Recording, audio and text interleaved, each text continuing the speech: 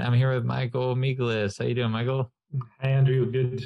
How are you? Good. Um, just wanted to thank you for coming on the podcast. Definitely excited to to hear about your story getting uh, Micro acquired recently. But for those that may not know you, do you want to give uh, just a quick intro on yourself? Yeah, sure. Um, so my name is Michael. Um, I'm from Greece originally. I spent a lot of my time in London. So my background has been in data engineering. I used to build big data solutions for companies like P&G and GM, uh, but I always had this uh, passion for entrepreneurship. Um, I started a company around five years ago um, in the fashion tech space. So it was a enterprise SaaS, which is still going on. Um, and um, I've been always passionate about startups. And in the middle of my journey, I thought, um, you know, I found this amazing platform, MicroAcquire, and I thought it would be a good challenge to build and sell something there. And uh, yeah, I'm here I am. nice. So for everyone listening, I uh, Michael was telling me the so I don't know what company Mike Michael had acquired. So I told him, don't tell me let's get this live on the podcast. so Michael, what was the company that um, you had Micro acquired? What did it do? What problem did it solve? All that fun stuff. Yeah, and um, the funny story is when I when I decided to uh, build something for Micro Acquired, I had no idea what was going to be. So it was like I'm going to spend some time finding a a niche a problem, solve it, uh, build something, and then in the end solve it. And uh, uh, the app was basically a Shopify app, um, and it was solving the problem of uh, merchants or Shopify store owners installing uh, Google Analytics onto their um, shop, which could be a bit complicated if you're not technical. Um, so it would just make the process very simple, just one copy paste, and you set it and forget it. So it was a pixel um, pixel installer for Google Analytics on Shopify stores. Nice, I like that. Just nice, simple, clear to understand problem. You'd be surprised at how many startups we see at MicroAcquire where we look at them and they're really good, but we're like, what do you do? What?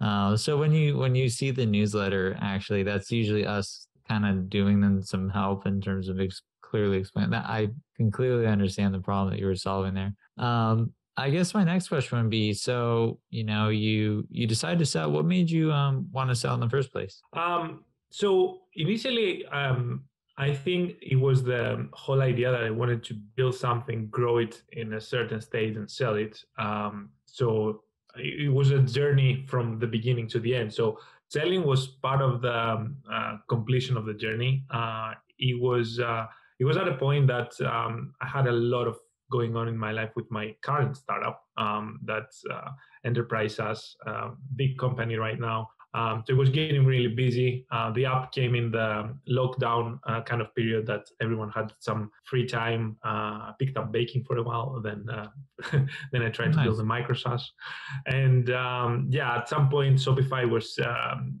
was doing some changes on the on the, on the authentication and I had to spend like a couple of days working on the app. And at some point, I was like, okay, I, I need to sell this um, and move on uh, and focus on my current startup. Nice, that makes total sense. Well, congrats on um, the the larger startup as well. And then it's always fun to you know have a side project or just build something. Yeah. I I can relate to that more than you know. Um, but for those listening, focus on one startup. um, anyways, uh, so you you decide to list on MicroAcquire. Um, I'm assuming um, multiple buyers reach out. Um, do you want to walk me through how that process went and how you finally landed on you know the buyer that ended up acquiring your Shopify app? Yeah. Um, so after I got some some traction, as I said, it was the the plan to sell. Uh, obviously, uh, one of the problems was it was a new app, so it didn't have like a lot of history. Um, it wasn't running for 12 months. Um, I believe I, I, listed it after three months. So uh, a lot of the buyers uh, wasn't meeting their criteria. Uh, at first, uh, obviously, I had kind of uh, overestimated the value of the of the app being a new app with low record, no, low traction. Um, I kind of uh, set it at a high price point. Um, then I just um, uh, actually I read the report of uh, the uh, the evaluations of Shopify apps. I believe was 2.7x the ARR. Um, uh, at the end, I sold for three something, and when I lowered the price, I got more qualified buyers. Um, and the whole process was uh, super super simple, to be honest. Um, so uh, the buyers would just ask for a few financials, some screenshots. Um, then we would see if they it would meet their um, kind of like investment thesis or uh, acquisition thesis.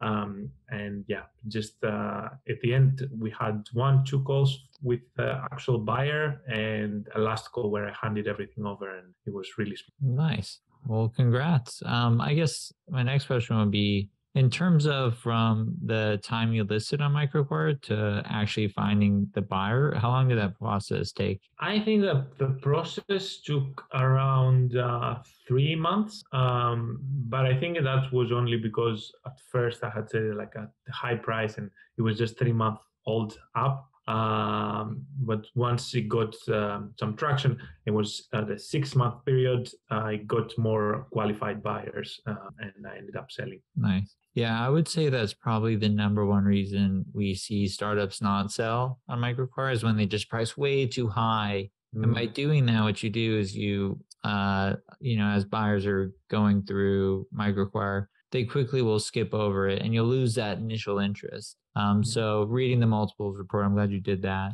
Um, if you're in line with those valuations, your buyer interest is based on our data. It's like two to three, four times higher, if not more. So um, good job on that. And then I guess um, uh, my next question would be, how did you transfer all the assets over? I know Shopify is a little bit easier in terms of just kind of, did you just kind of hand over the keys? Did you have a Zoom call? Did you have like a list of all the items that you were going to transfer? How did how, how did that part work? Yeah, I think um, because I had um, when I went into this kind of like uh, journey or challenge, um, I had in mind that I'm gonna sell it at some point. So from the beginning, I had structured the entire infrastructure like that. So I had like separate AWS account, a separate Shopify account, uh, a separate uh, hosting, uh, web hosting. So everything had a separate account. So I would just hand over the accounts to the person that uh, actually acquired them, um, and I think that saved me a lot of hassle and time because usually all my projects are under one umbrella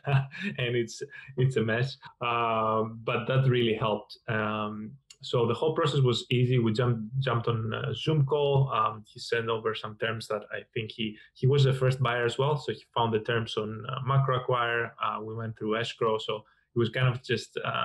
A journey that we were discovering the process, uh, both of us. Uh, so it was really smooth, actually. Very nice. Yeah, I would say that's probably another, um, maybe not mistake, but just something to think about if you're looking to eventually sell your business. Is I can't even tell you how many times I've talked to founders who maybe have you know one AWS account with multiple different projects or startups in it. Then you have to pull it out and do all this extra work and just being able to kind of hand over the keys is so much easier for both you and both the buyer too also in terms of just building confidence like because when you move something you got to make sure it works and it's new environment etc all that fun stuff. Um, so good job on that um, and good job on using escrow too. Um, I, I can't recommend people that acquire stuff without using escrow service i think are are crazy. So luckily, yeah, it, it's just a, an unnecessary risk. Luckily, we don't see that too often, but um, you know, some people can be fast and loose. Um, I I guess now I'm wondering, um, you know, are you able to maybe talk about? I guess you know, with founders, you know, looking to sell their business based on you going through the process successfully. Um, is there any like tips you would give new founders looking to sell their business, like as they because I really like how you came in prepared. Your accounts were separated. Um, you had a realistic valuation. Maybe I'm giving all the tips away, um, but but if you had um, you know any tips to share in terms of how to maximize your chances of being acquired, um, what would those be? I probably just gave uh, you like five. Sorry. Yeah, you you you you did a, good intro there. Um, I believe also um, how you handle potential buyers um, is really important. Like being honest, being upfront, having everything ready, um, you know, respond on time. I think all these kind of uh, things help potential buyers see that you know um, you will be honest through the process. You will be there to support if needed. So um, we build a good rapport with um, with the uh, interested buyer and I think that's helped the process a lot because you know there's so many apps right now, and uh, being able to have a good cooperation between the buyer and the seller is really important in the in the process. And of course, having a data room as well, I think that's important, uh, especially when you're uh, have a bigger company, having everything ready, like your P&L statements, everything that a potential acquirer might ask, um, that would definitely uh, help with the process, I believe. Yeah, I completely agree, especially on the P&L. That's usually depending on the size of the business. I think once you get into the six, you know, seven, you know, million dollar acquisitions, a P&L is absolutely required for larger buyers to really understand the health of your business. Um, so that's that's really really great advice. I guess you know, given that you built you know multiple startups, are there any sort of like tips you would give to you know startup founders just looking to build a startup? Are there any sort of um, you know themes that you you know believe in, or any sort of quotes that are your favorites? Um, yeah, I think um, a good tip would be to do a lot of market research before you go into building something. Um, usually, because I come from an engineering background, I might get excited from this idea that I have, and the technology is really exciting, and there might not be a market for it. Well, another very, very simple and stupid thing like the app I, I built might actually have a market for it. Um, and you know, you might not enjoy it that much, but once you're getting their first customers in, um, that will be uh, that will be a good payoff. So I would definitely recommend, especially to all the engineers out there, do your market research, make sure you have a go to market plan and uh, make sure there's an actual market uh, out there, hopefully a competitor or two. Um, I would never go into building something without a competitor, uh, trying to educate the market. Um, yeah, I think that that will save you a lot of time and a lot of headache later. I I couldn't agree more. I always say if there's no competitor in your market, that's a really bad sign. yeah. And you're right. Educating a market is very very expensive because um, one of my favorite business quotes is uh, what is it? It's um, one of the hardest things to do in business is to change consumer habits. So people are so used to doing something a certain way, and your business does it completely different um, I'm trying to think of a company that actually did this and it worked out. But, anyways, if you're coming to the market with something that you're right, like they've never heard about, there's no competitors, um, it's not clear what problem it's solving, and you have to just educate, educate, educate, you know, you're going to need a lot of time and a lot of capital. So I, I like that. And I do agree. I think competition also just breeds improvement and kind of fun too to have competition in markets. Yeah. Plus, it gives you ideas on what what to do, what to avoid, what to do better. Um, so um, it's definitely good to have competitors. They'll push you forward. Uh, you'll push them forward. So it's going to be good for everyone.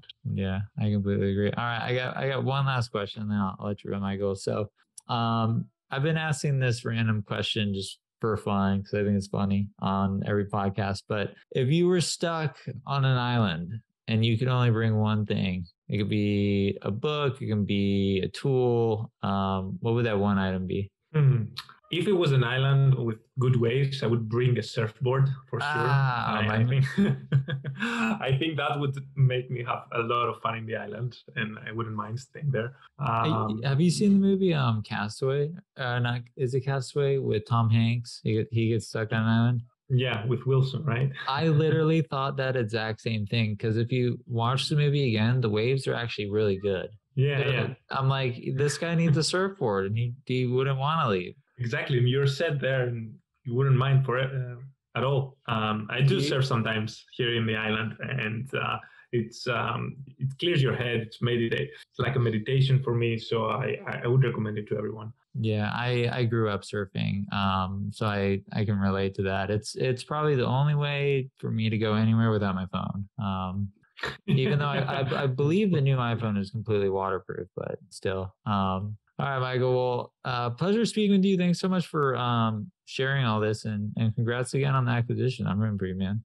Thank you, Andrew, and uh, thank you for making it possible. I wouldn't be possible without MicroAcquire, and it did give me the inspiration to just build something, sell it. Uh, it's, it's, a big market for anyone listening uh, for new ideas. Um, so, um, yeah, thank you for making it happen. Yeah, my pleasure. All right, cheers, Michael. All right, bye, Andrew.